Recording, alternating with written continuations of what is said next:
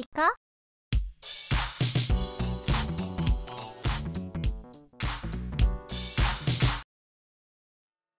안녕하세요. 타입니다. 오늘은 거대 몬스터볼 속 피카츄 집을 만들어 볼 겁니다.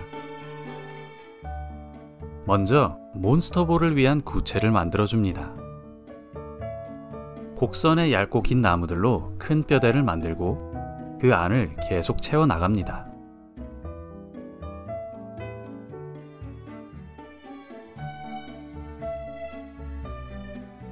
나무의 크기를 점점 줄여 빈틈을 모두 채우면 반구가 됩니다.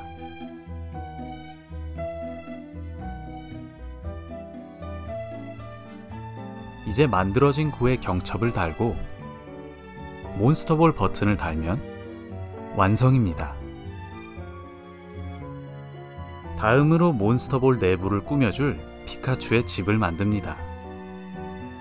쥐라는 특성을 고려해 땅으로 덮인 동굴 모양 집을 만들어 줍니다.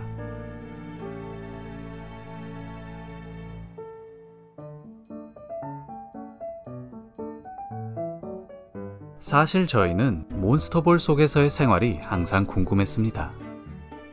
하지만 원래 크기의 몬스터볼은 너무 답답할 것 같아서 이번 기회에 피카츄에게 넓은 집을 만들어주기로 했습니다.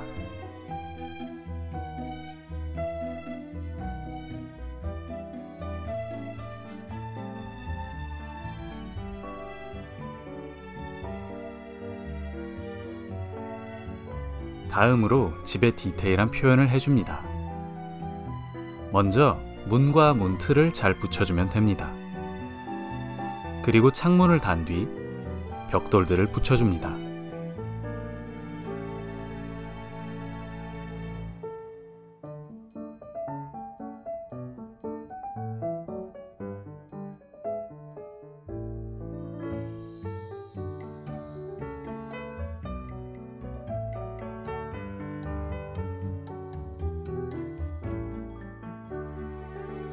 이제 벽돌 굴뚝을 만들기 위해 잘라놓은 나무 퍼즐 조각들을 합쳐주면 피카츄의 내 집 마련의 꿈에 한 발짝 더 다가가게 됩니다.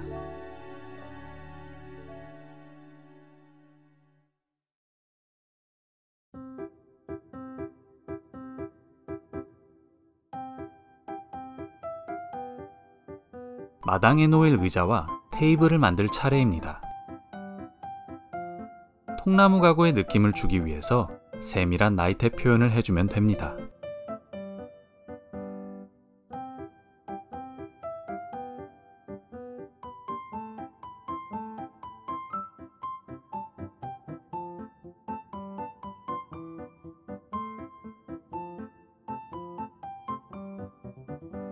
이제 가로등과 발전기를 작업해 줍니다. 회전하는 나무를 갈아 가로등의 곡선 모양을 표현합니다. 원래는 목공 선반을 써야 하지만 저희는 나무 수저기 때문에 가진 걸로 때웁니다.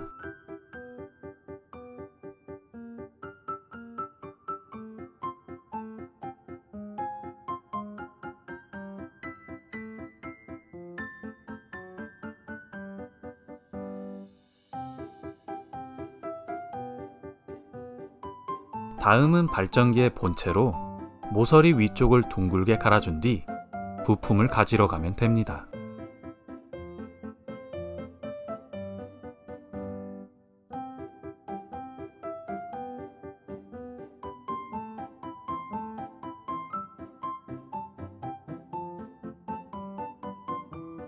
마지막으로 쓰다 남은 잡동사니들을 모아 소품을 만들어줍니다.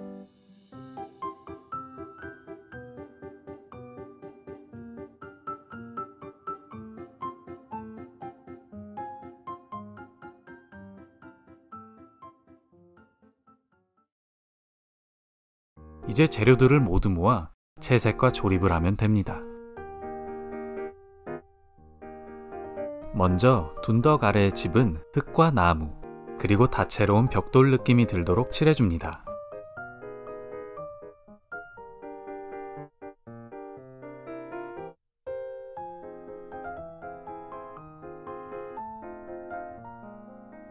이제 바닥에 초록색을 깔고 풀을 칠한 뒤 염색된 톱밥을 뿌려 풀밭 표현을 해주면 됩니다.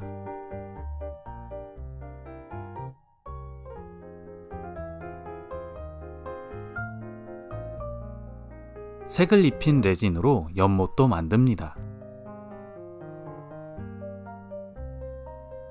마지막으로 소품들을 설치해서 완성해주면 됩니다.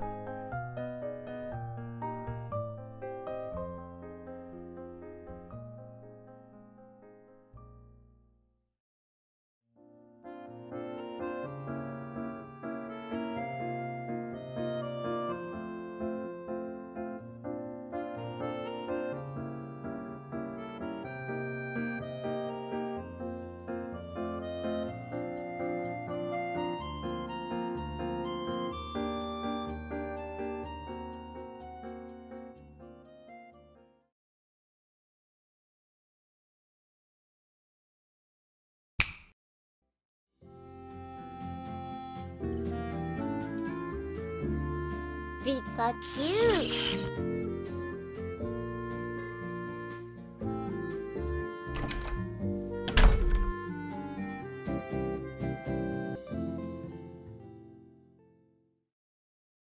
재밌게 봐주셔서 감사합니다. 다음에 더 흥미로운 나무공예로 만나 뵙겠습니다. 구독과 좋아요도 감사합니다.